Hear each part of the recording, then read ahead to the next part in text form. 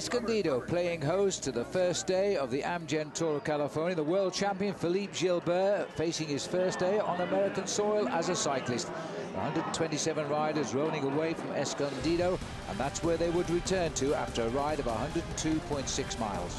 Yes, a circular route around Escondido, but out on the course, three climbs. The biggest of the climbs coming halfway through at Mount Palomar before a very difficult third category climb towards the end at Cole Grade. And then they would come down into the finish. The talking point of the day was the heat of the day. And the highest point of this year's race, Mount Palomar, topping out at 5,318 feet. And temperatures of the day hit 104 degrees Fahrenheit. 72 kilometres from the finish, four riders were still out front. A breakaway of four, which had started very early on, were beginning to thin out as the riders got on to the slopes of Mount Palomar. Nonetheless, they were still quite a long way ahead. Yes, they built themselves a maximum advantage at one stage of nine and a half minutes. And when they got to the summit of the climb, in fact, it was Carter Jones who went across in first place, ahead of James Stemper, getting himself maximum points. But in the main field, it was the team of Tejay Van Garderen who were really putting the hammer down.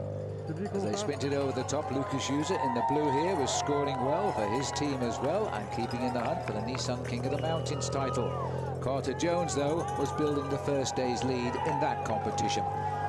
So the two leaders up front, uh, Marsh Cooper, the new uh, Canadian rider, was being dropped by the front leaders. Uh, Zach Dempster, the Australian, he had already been dropped. It was leaving just two riders to try and strike out for the finish with some 38 kilometres, 24 miles still to go. Yeah, strangely enough, it was the third category climb of Cole Grade that really started to put the pressure on in the leading group of riders, reducing it to just two men.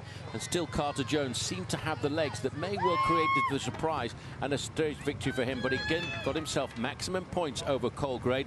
But it was actually in the main field behind that there was an awful lot of pressure that started to fraction the main peloton. Again, Lucas Euser sprinting up towards taking the minor point at the top of the climb as they go over the summit. Four minutes and four seconds, the gap behind the leaders. Yes, it was at this point that lots of the uh, pre-race favourites were starting to suffer, including number 51, Peter Sagan, who was left behind. And it was because of the pressure of his team, Team Cannondale, that he was finally able to reintegrate the front part of the race, hoping to get himself an opening victory on stage one, as he had done 12 months ago. Two riders still clear. The main chase pack slowing down. It was a chance for Peter Sagan and his merry men to rejoin the leaders. So the sprinter was getting himself back into position for a likely win when we got down to Escondido. Although the two leaders up front still had an advantage of just under three minutes. Yes, it was starting to look as if there could be a surprise, but even Philippe Gilbert was suffering with the heat, which approached 40 degrees Celsius or 100 degrees Fahrenheit out on the day. Down to two minutes and just 10 miles of racing left now is Team Radio Shack. And also prominent up at the front there was uh, Andy Schleck. But at the back there was a crash involving Luis Romero of Cuba. And at first the fall looked quite serious, but he would remount and he would be held back towards the finish by his teammate Ben Jacques-Maynes. So Romero riding there, Ben Jacques-Maynes waiting for him, one of three riders in the race who's ridden all eight editions of the Amgen Tour of California. So it was down into the streets now of Escondido and the gap down to just 25 seconds. Two survivors had done a great job to survive on the day, but down to 500 metres advantage and all over the front end of the race. The control was lime green jerseys because Peter Sagan was feeling very comfortable that this was going to be his overall victory. These two men had survived since the eighth mile of the race, but as they came into town, a final attack came from the Bell, the Dutch rider on the Vacansoleil team, Lieuwe Westra. Vacansoleil have never been here racing in the United States before, and here they were now with a rider out on the attack. And Westra, the 30-year-old rider, was quickly joined by Francisco Mancebo, who rides here in the five-hour energy team. And Westra didn't know who he was. As they got to the one kilometre to go, they still had an advantage.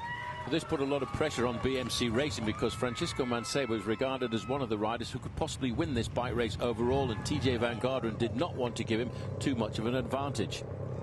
The field lining up, I think, realised they'd left it too late here as Mancebo opened up the sprint, trying to do what he'd done in Santa Rosa a few years ago and win. This time had to give bets to the Dutchman. And Westra pointed at his sponsor. First time here, and we've got the winner. He would be the first wearer of the Amgen yellow jersey, and Peter Sagan cleaning up for third place in the bunch sprint. If only they'd have caught those two leaders, he might well have got his ninth stage victory historically of this race. But instead, it was Westra. Yes, I think a lot of riders, Phil, will talk about the heat of the day, but this man will talk about the victory of the day because his attack came just at the right time when everyone was a bit tired. The overall standings reflecting the day's stage result. Westra, the first man in yellow, Mancebo in second place at 4 seconds, Peter Sagan at 12 seconds, and the main field all placed in a big bunch, some 16 seconds back, led by the sprinter from Belgium, Gianni Meersman.